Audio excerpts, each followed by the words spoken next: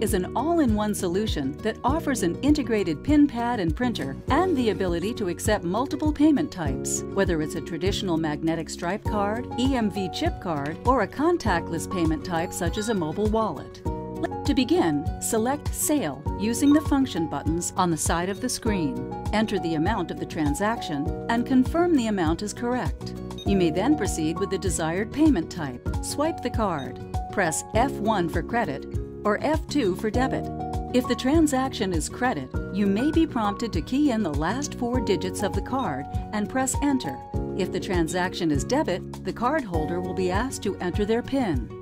The cardholder will insert their chip card into the terminal and leave it inserted throughout the transaction. The cardholder may then be required to enter their PIN or sign for the transaction.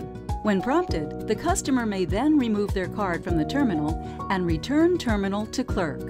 To process a void, begin by pressing the More button on the top row until you see Void. Press the F key beside Void.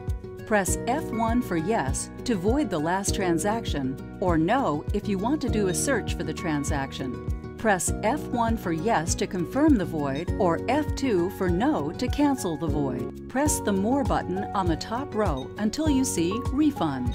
If prompted, key in the supervisor password and then key in the dollar amount to be refunded.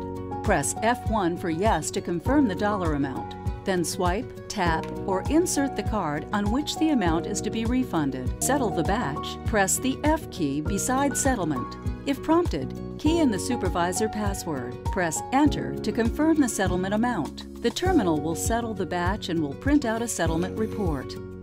It's that simple.